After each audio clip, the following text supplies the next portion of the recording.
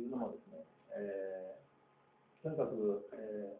ー、日本は土器を作ったのが一番世界最古だというふうに言われているんですね。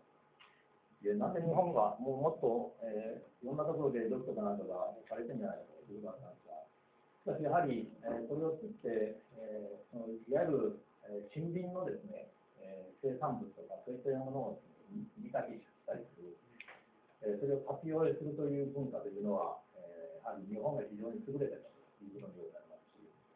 えー、いわゆる縄文の時代というのはそういった時代にあったの、えー、そういうことのいうふうにまあ紹介されております。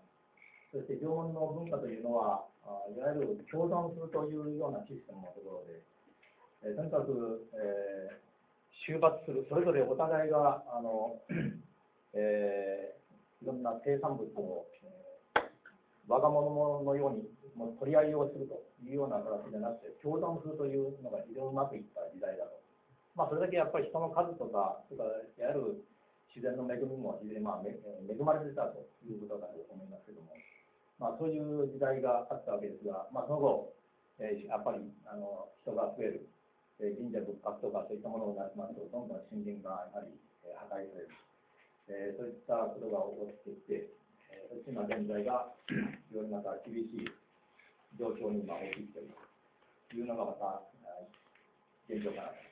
で、その時にやはりヨーロッパとかいったところでは、どうしてもあの神というのが、え人間よりもまた上にいて、さらにその、え自然というのをさらに超越した形になるということもあって、えとにかく、え神、え物事そのそれぞれのものに神が宿るというような東洋的なです、ね、考え方がやはりないということもあって、え自然もやっぱり終末していくというのはやっぱりヨーロッパというのは、それが非常に、えー、典型的に現れている、まあ、そう言われておりますが、